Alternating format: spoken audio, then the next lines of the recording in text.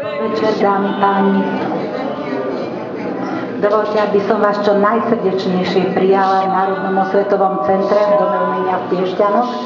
Je mi veľkou cťou, že dnes môžem tento príjemný podvečer vás tu všetkých privítať, ale dovolte, aby som privítala majstra Juraja Šajmoviča. Vítajte, majstra.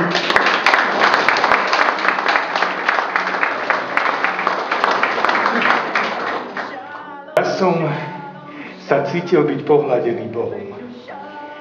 A ja verím, že všetci tak, ako sme tu, sa vďaka Tvojej tvorbe, vďaka Tebe cítia byť pohľadený, pohľadený Bohom.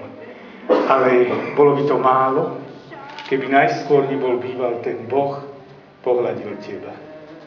Pretože ten Ti vnúkol tú dušu umelca, s ktorou prichádzaš a ktorú vlastne odovzdávaš nám všetkým. Aleikem, Evein